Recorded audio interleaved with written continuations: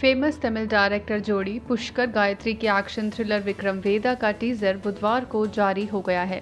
Tamil blockbuster के Hindi remake में वेदा के रूप में ऋतिक रोशन और विक्रम के रूप में सैफ अली खान हैं। एक मिनट चालीस सेकेंड लंबे टीजर में दर्शकों को एक्शन से भरपूर कहानी की एक झलक मिलती है। टीजर में कई सारे इंप्रेसिव डायलॉग्स हैं, कई एक्शन सीक्वेंस और इमोशनल ड्रामा भी है। विक्रम वेदा का टीजर एक कंप्लीट एंटरटेनमेंट पैकेज की गारंटी देता है। फ़िल्म 30 सितंबर को सिनेमाघरों में रिलीज़ होगी। माधवन और विजय सेतुपति स्टारर तमिल वर्जन 2017 में एक बड़ी हिट थी। विक्रम वेदा की कहानी में कई ट्विस्ट और टर्न है। इस